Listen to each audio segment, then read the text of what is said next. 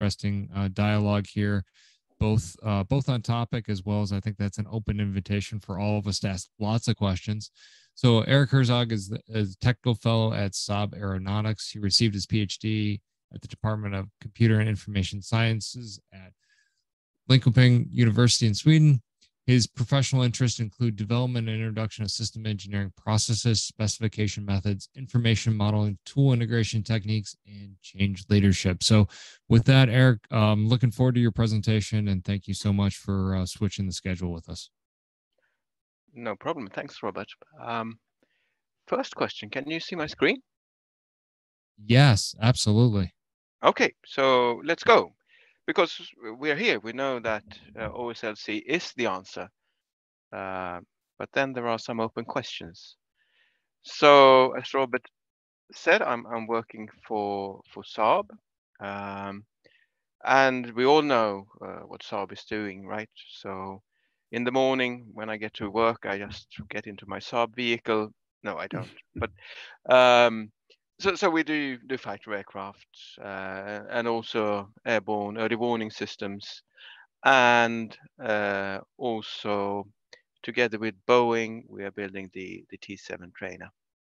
Um, so uh, for aerospace, a pretty small company in located in Linköping in in Sweden. We we have uh, the Swedish language has a number of tongue twisters um, and the, way to say sh is uh, one of them, uh, just to tease the foreigners. Um, so these are some products that my organization is developing at the moment. And if we look upon these products, uh, we can say they they live for a very long time. They're safety critical. They are they are in continuous development throughout their lives. It's not like uh, a car or traditional car. You you develop it and uh, uh, then it's out. I mean, the every two years about uh, we have a new edition out for for for our products, and the new capabilities that we add are quite quite substantial.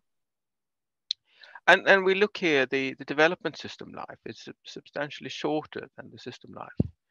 So if we look in the past, uh, we need to replace our development system at least twice over the life of the system. And, and this is, uh, as we're becoming more and more digital, it's becoming more and more tricky to do this. Um, so this is the, the world we're living in. Um, and another observation is that uh, our life has become very unpredictable. Um, I mean, it's pretty obvious. The Gripen we are developing it in with support from the Swedish state, but in collaboration with Brazil. So we had to learn international collaboration. The Global Eye um, was first bought by the uh, UAE. So the Swedish uh, Air Force wasn't the first customer.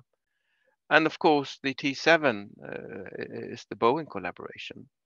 So what we've learned is that we have to be aligned with international best practice. We, we should be your best speaking partner in international aerospace, uh, in the international aerospace language.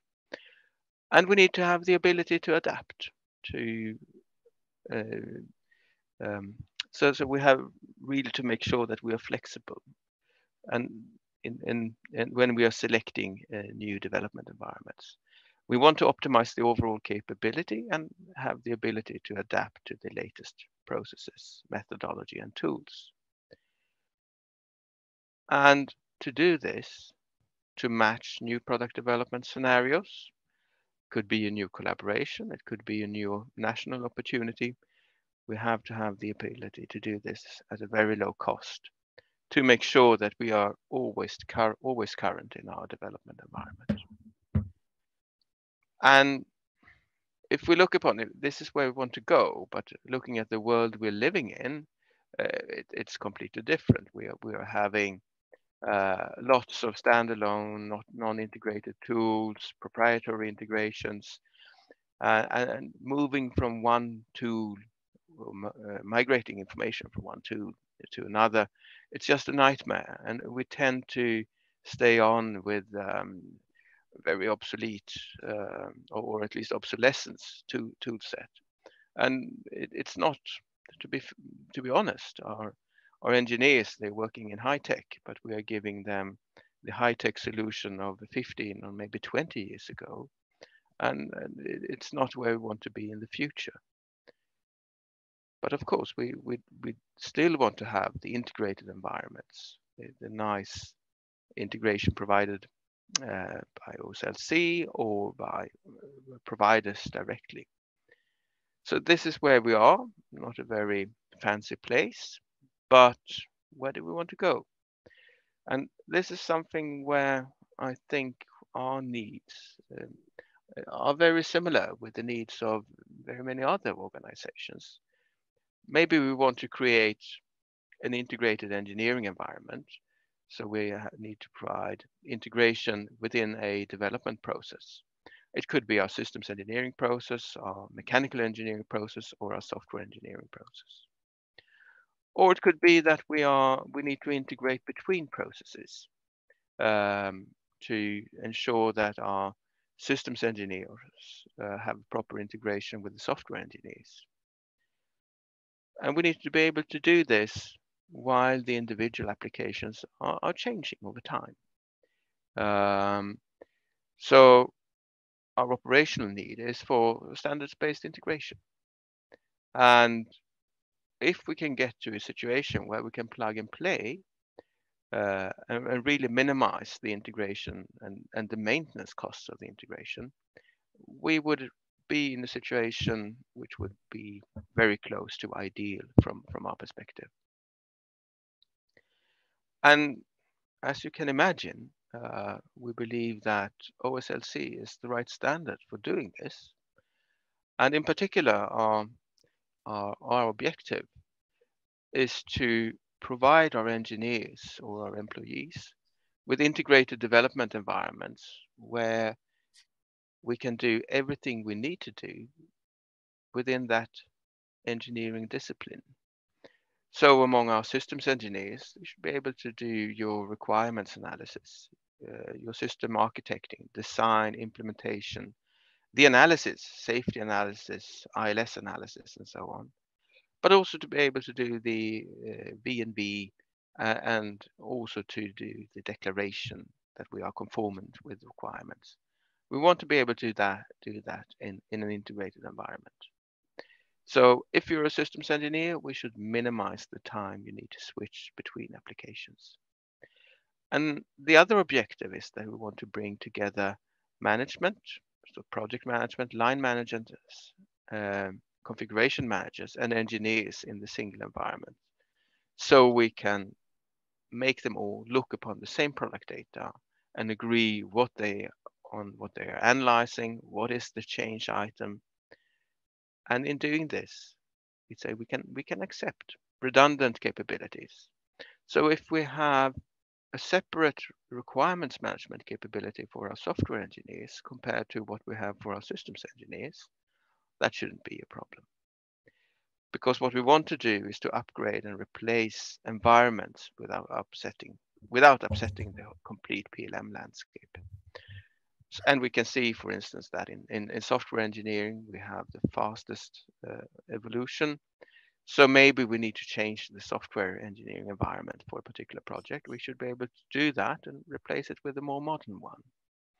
Or it could be that we're starting a new project, project and the systems engineering and hardware engineering environments, they might be all right, but we just need to change the software engineering environment or perhaps our interface towards our suppliers.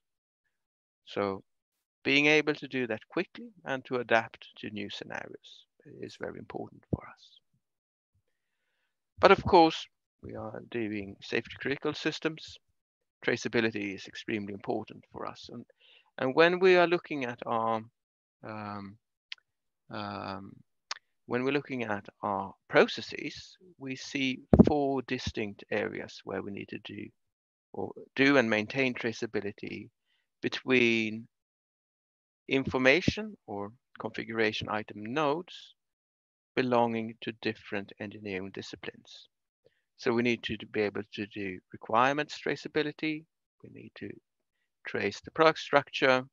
We need to maintain change control and also to keep track on what have we realized, what have we put together. So the realization structure will work on serial numbers, whereas the configuration item structure will work on part numbers. Um, and of course, we know that um, when we trace, uh, we need to be able to trace the right version uh, and not just the latest and greatest. So um, the OSLC configuration management capabilities are very important for us.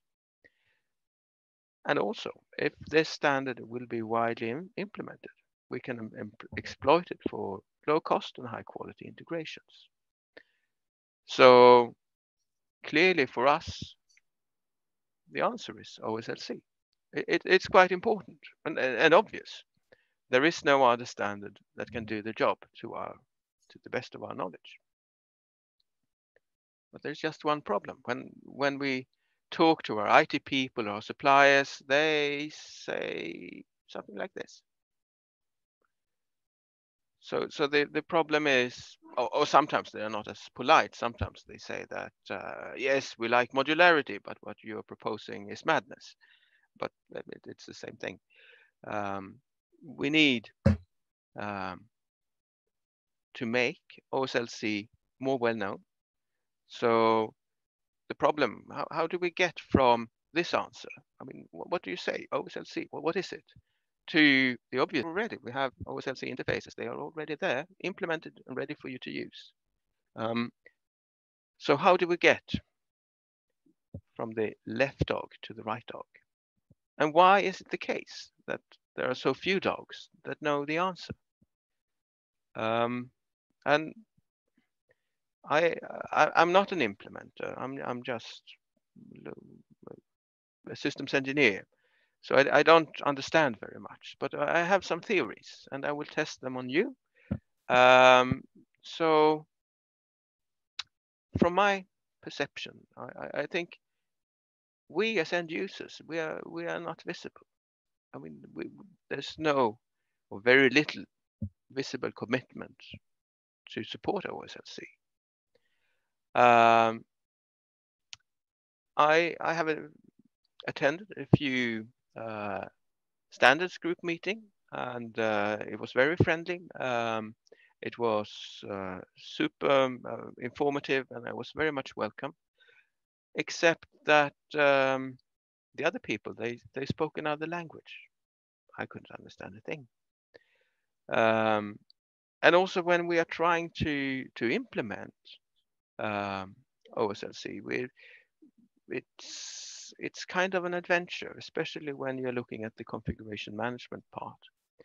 Perhaps we are bad readers of, of the standards, but finding the examples how to interpret the standard has been terribly difficult.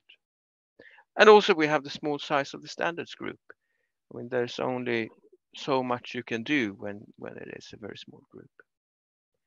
So just first disclaimer. Um, these questions are, of course, they are provocative on, on purpose. And I have to admit that um, uh, there are things that I could have done for Saab. Um, um, to show our my organization's support for OSLC, which I haven't done. So um, I, am a sinner myself. Now I, will try to move Johan Tegler out of my screen. You, how can I ignore this one? Oh, he's gone. Good. Um, so let's look at uh, the, these additional questions. I mean, is there a lack of end user uh, commitment? Um, I mean, and we have to ask ourselves if how can my organization, how can I benefit and invest in a standard when there are so few other organizations doing it. And if we want plug and play out of the box, there have to be many boxes. So we as end users, as large organizations, we have to be very clear here that this is something we need. Otherwise, we will not get anything to play with. So how can we as end users communicate our interests in OSLC, not just as um, um, uh, at events like OSLC Fest, but making it persistent. What are our use cases? And how can the community uh, provide the space for, sh uh, for showcasing those use cases and also the solutions. If if we need something, uh, then there will be opportunities, I'm sure, for providing the answers. And then the standards group, I mean, the and whether it's closed or not, it, it's what I perceive. Um, we have very extensive standards, not extensive like STEP, but still extensive standards. And the entry threshold I, have found is, is quite high. Uh, the group has great potential, ample ideas for improvement, but the regular meetings are very short. And when you step in, uh, it's very difficult to grasp what's going on and, and how can you contribute? So the question is really how can we lower the, the entry threshold? Maybe dedicated sessions uh, with uh, longer justifications of standard constructs, training for, new specialists, or, or, even for me if I can still learn something, uh, and very clear near and long-term strategies. I think given this, we, we would see more people uh, being interested in, in joining the group. And then we have the question of implementations as, as adventures. Again, the specifications are extensive, but very, very few examples. And I find this is especially true for the configuration management part. Uh, in our own projects, we, we, we came from a stepper background and we were speculating where were product data really stored? Where, where, where was it captured? And it took uh, quite some confused calls with, with specialists like Iran and Ian to actually figure out how, how things are working. And maybe not every organization have access to the specialists. So we need to create the clear examples, explaining the concepts and relationships, the call sequences, what to look out for, and the lessons learned. If we have them, we have the basis for a community. And, and then we have the small size of the standards group. Um, and I mean, it, it's a small group, and uh, the number of experts is small. They you, they have a lot of their agendas, but how can we grow grow the group and share the workload, and train new people to support the specialists? And maybe we can do it by doing the first step to increase the end user commitment to show that this is this is a place to go we can extend the standards group activities to include investments in, in creating new experts.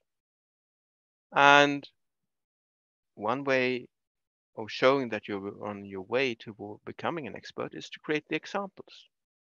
Because then the newbie, the newbies would grow and it would be a good opportunity to exchange experiences.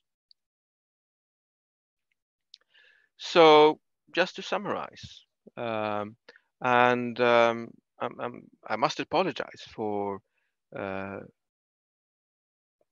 being the outsider and, and providing um, unwanted advice. But uh, we have to say that OSLC, it, it's uniquely positioned.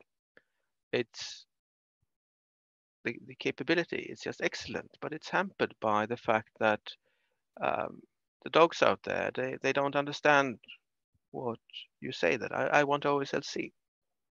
And how it's really about going from the surprise dog to the service oriented dog, the dog that already knows the answer.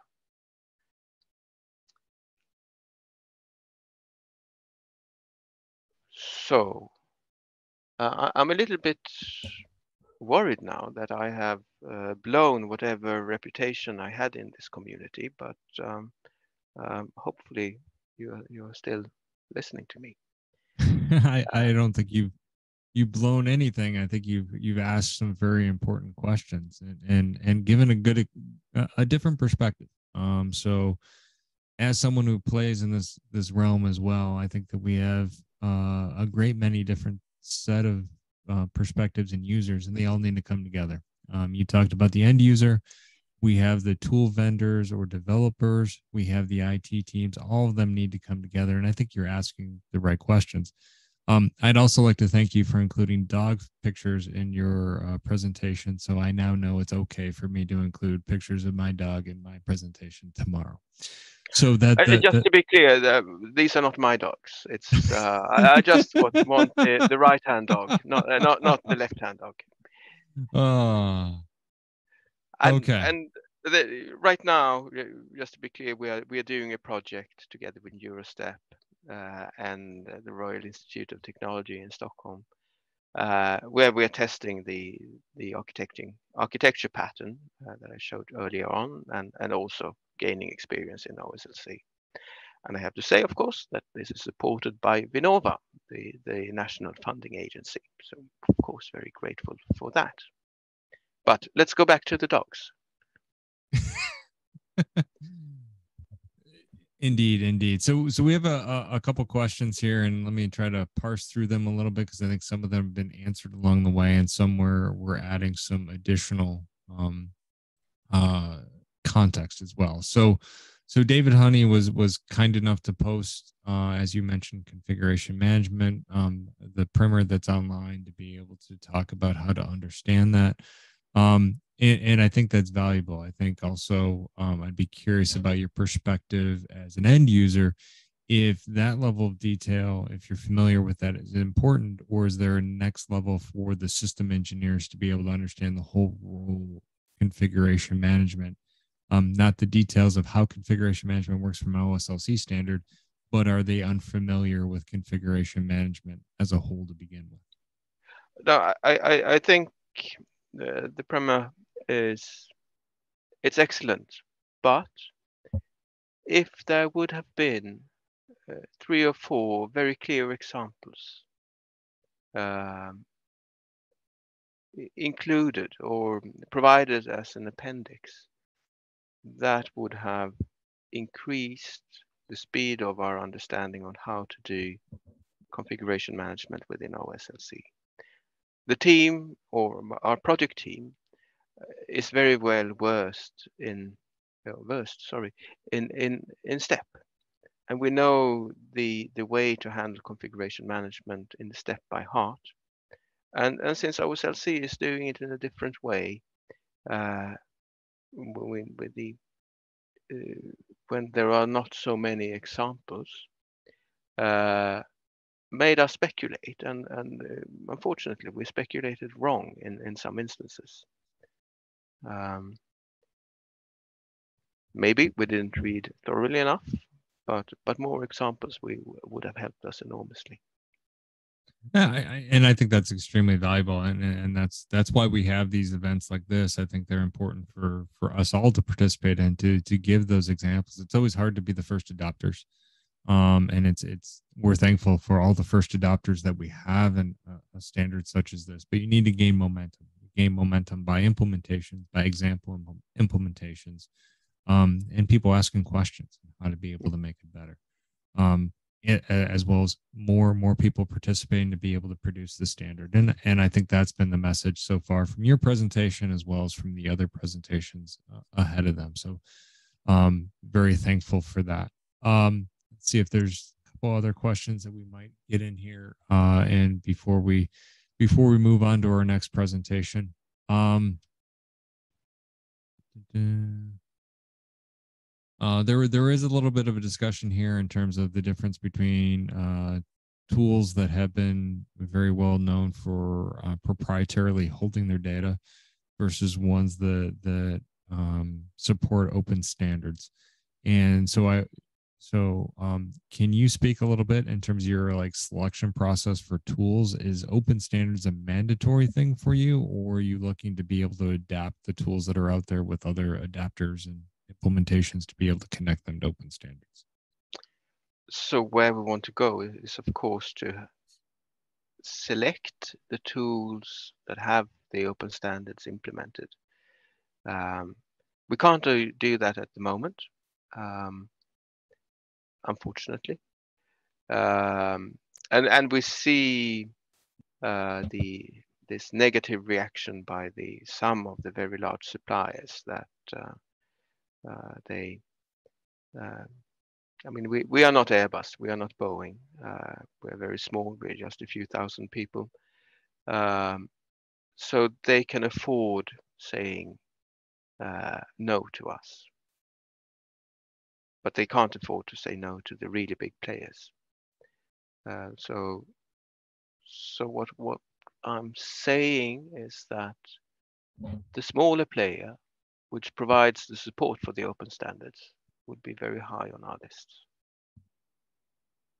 Okay, and and that that's great, and I think that's a good message out to to some of the the the smaller companies as well, both both on a, a, a vendor standpoint as well as an end user standpoint. Participation in the standard helps build commonality, helps build uh, momentum uh, for all of us to be able to work towards a con- common standard and being able to be uh, capable of, of bringing everything together, much like some of the larger entities in our in our business that uh, encourage things to happen. Although we we definitely uh, appreciate those large tool vendors and, and, and large user bases to participate in the standard as well to be able to help build that momentum. So, really good. Thank you so much, Erik, for the participation and the perspective, as well as some flexibility as we dealt with some technical di- uh, difficulties on the other end of, of, of some of our other presenters. So, with it's that, part of our genes. So, I'll, I'll stop sharing now. Thank you very much. Wonderful. Thank you so much. Well, now I think we can uh, go ahead and switch back to who was originally supposed to be our third presenter, who with some some technical skills in the background by by some of our team members and persistence by Martin uh, is is going to be joining us here.